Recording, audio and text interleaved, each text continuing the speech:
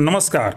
आज हम हाथी गुम्फा अभिलेख के बारे में जानेंगे। उदयगिरी पहाड़ी पर स्थित हाथी गुम्फा के मुख्य द्वार को आप देख सकते हैं। इसी गुफा की एक शिला पर सत्रह लाइनें लिखी हुई जो कि प्राकृतिक भाषा एवं ब्राह्मी लिपि में है।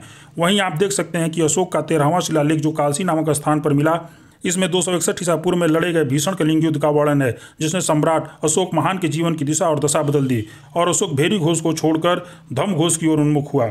कालसी वर्तमान में उत्तराखंड राज्य में स्थित है और वर्तमान का उड़ीसा राज्य का क्षेत्र तब कलिंग हुआ करता था। उड़ीसा की राजधानी भुवनेश्वर से चार पाँच मील दूर उदयगिरी पहाड़ी पर हाथी गुम्फा स्थित है। प्रथम शताब्दी ईसा पूर्व के आसपास के समय में कलिंग के राजा खारवेल ने हाथी गुम्फा अभिलेख को खुदवाया था।